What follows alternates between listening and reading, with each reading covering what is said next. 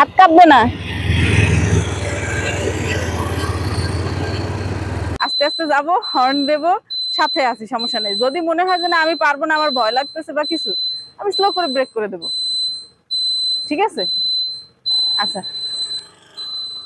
Overtake করব আমি হ্যাঁ। আস্তে ইন্ডিকেটর দেই আবার, আস্তে করে। তাকাবো না। হ্যাঁ আসি এখান থেকে, আসি। আস্তে এখানে এখানে স্লো ব্রেক স্লো ব্রেক উঠবো পিক আপ দেবো?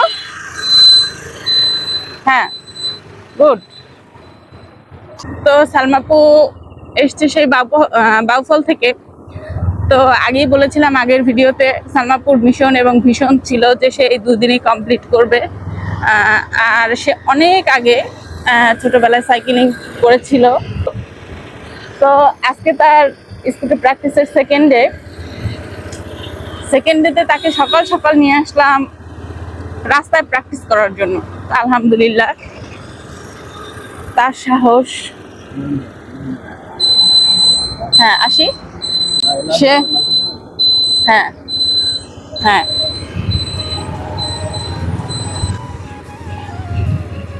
আপুকে দিয়ে মেইন রোডে চলে আসলাম। আলহামদুলিল্লাহ। আর একটু চলার জন্য হয় কি, ছোট ছোট ছোট ছোট কিছু রোড স্ট্র্যাটেজি আছে।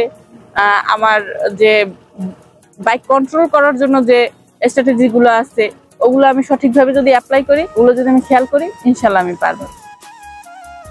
আর যখন আমি বাইক চালাবো, তখন অন্য কোনো চিন্তা আমার করা যাবে না। ঠিক আছে? এজন্য আমার একদম কনসেন্ট্রেশনটা একদম পুরো কনসেন্ট্রেশন আমার বাইকের দিকে দিতে হবে যে আমি কোথায় কি করব লুকিং গ্লাস তারপরে আমার যে আমি ইন্ডিকেটর ব্রেক স্লো কখন করব, এগুলো আমার খেয়াল করতে হবে। আর আমি কোনো সময় যখন আমি হ্যাঁ যখন আমি রাস্তায় ওইভাবে চালাবো, তখন আমি কোনো সময় কি করব যে হয়তো হঠাৎ করে কোনো কিছু সামনে পড়লে পাজল হয়ে যায় যে আমি কি করব কি করব কি করব? নো তখন আমি কি করব আস্তে স্লো করে ব্রেক করব। ওকে ঠিক আছে? তো আপনি যে এই উদ্যোগটা নিয়েছেন না, এটা আসলে কিন্তু আমাদের, বিশেষ করে আমাদের মহিলাদের জন্য অনেক ভালো হয়েছে। অটোতে উঠতে গেলে গিয়ে বসে থাকতে হয়, দাঁড়াই থাকতে হয়। লোকজন থাকে, পুরুষ মানুষ থাকে, তাদের ভিতরে বসতে হয়। কিন্তু যখন আমার নিজের একটা স্কুটি থাকবে, তখন আমার তো কারোর জন্য ওয়েট করতে হবে না।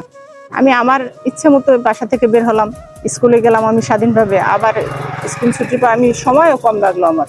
অন্য পুরুষের পাশে আমার বসতে হলো না তারপর এটা নিজের জন্য আসলে অনেক কিন্তু একটা আনন্দের এই বিষয়টা যে আরও আগে শিখতে পারলে তো আমার ওই যে আমি একুশ কিলো গেছি ওইখানে তো আমার আর্থিক অনেক ই হয়েছে কারণ আমার মাসে চার পাঁচ হাজার টাকা আমি দিচ্ছি শুধু গাড়ি ভাড়া। হ্যাঁ। সেটা সেটা থেকে তো এখন আমি পরিত্রাণ পাবো স্কুটি চালিয়ে। এটা হচ্ছে সম্পূর্ণ মনের ব্যাপার হ্যাঁ হ্যাঁ। মনের কারণ আমি আমার এজ থেকে তো আমি বুঝতে পারছি যে আসলে না বয়স কোনো ম্যাটার ওটা হলো সংখ্যা।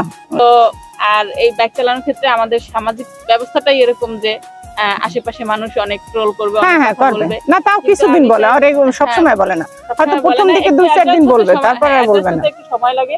তো আমি সবার উদ্দেশ্যেই বলব যে এক্ষেত্রে মেয়েদের নিরাপদে চলাচল এবং স্বাচ্ছন্দ্যে চলাচল টাইমলি আমাদের কর্মস্থলে পৌঁছানো আমাদের কাজগুলো সহজ করে দেওয়া এক্ষেত্রে আসলে স্কুটিটা আমাদের অনেক অনেক প্রয়োজন। তো সবাই সাপোর্ট করুন।